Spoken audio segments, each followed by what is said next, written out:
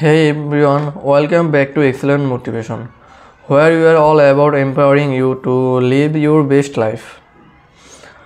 Today we are diving deep into a topic that close to our hearts. Guard your hearts. It's not just a catchy verse; it's a powerful principle that can transform your life. We all know that life can throw curveballs at us, testing our resilience and challenging our dreams. But here's the things the key to overcoming those challenges and unlocking your full potential lies in gardening your heart. Gardening your heart, mm, heart is not about building walls or shutting people out. It's about protecting your innermost thoughts, beliefs, and emotion for negativity and doubts.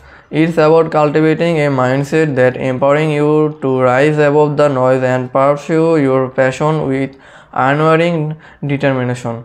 I am seeing firsthand how guarding your heart can impact your life.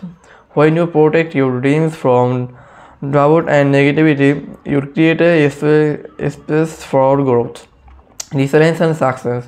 It's like giving yourself the gift of unwavering self-belief. So how do you guard your heart? Here you here are a few tips. Surround yourself with positivity. Choose to be around people who uplift and inspire you. Feed your mind with positivity. Read motivational books.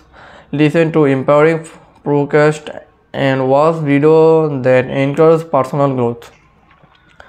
Practice self-love Treat yourself with kindness and celebrate your achievements no matter how small. Set healthy boundaries. Learn to say no to negativity and make room for positive influence in your life. I recently spoke to Shamim who transformed their life by embracing the principle of guarding their heart. Their story is a testament to the incredible power of a positive mindset and the impact it can have on your journey toward success. Remember, you have the power to shape your reality by guarding your heart, embrace positivity, believe in yourself, and watch as your dreams unfold before your eyes. If you found this video helpful, don't forget to like, share, and subscribe for more empowering content.